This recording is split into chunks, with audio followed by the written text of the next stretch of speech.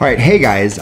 Today we are going to talk about how to enter developer mode on your Oculus Go. And this is actually just the first video of a series of videos that I am going to do showing you how to get the most out of your Go. Now, the Go is awesome right out of the box. I, I love it, but there is just so much more that you can do with this device once you kind of know what it is. Um, a lot of it is centered around the Oculus TV app, uh, and just like imagine having like a 150 inch Android tablet. That's what it's like. You can run all sorts of other games and apps.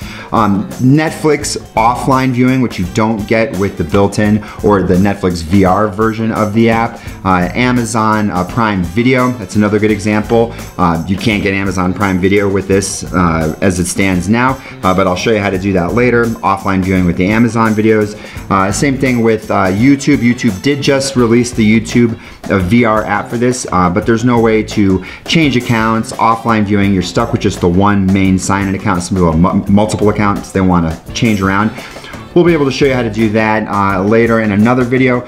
Um, there's a ton you can do with this and we will go through that throughout this series of videos. But this video today is all about putting your Go into developer mode and that is the first step to achieving all the cool stuff that we're gonna do with this. And putting your device into developer mode is easy. It's actually really, really easy. So what you're gonna wanna do is you're gonna wanna click on the link in the description down below and that will take you to Oculus, Oculus's website.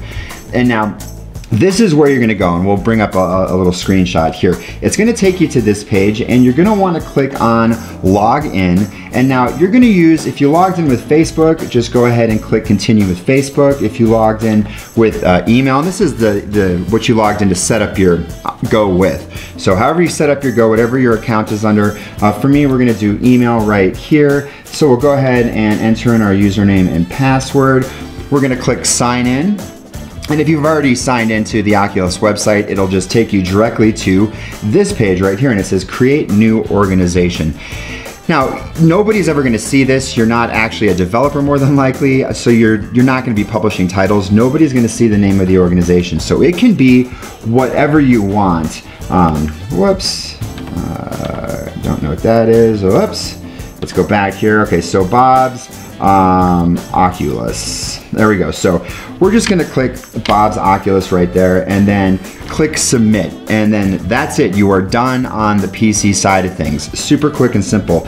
Next you're gonna wanna go to, and we'll bring this up, your uh, Oculus Companion app on your phone. So this is what it's gonna look like right here if you're connected. Make sure that you're connected to your Go. You want that there so we can see that the Oculus Go here is connected. And then you're gonna click on more settings right here.